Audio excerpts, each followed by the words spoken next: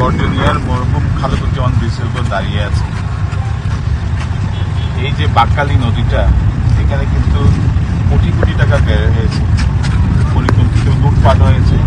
এই যে খনন এবং বিভিন্ন কাজে বৃষ্টি হলেই এখানে প্লাবিত হয়ে, বন্যা হয়ে, মানুষ কষ্ট পায়, রাস্তাঘাট ভেঙে যায়।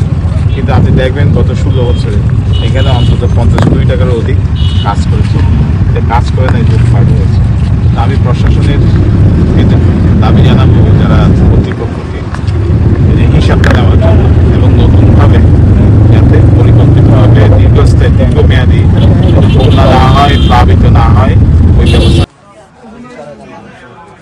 好的好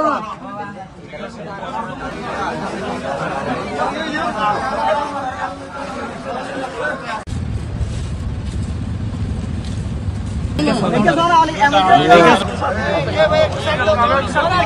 的好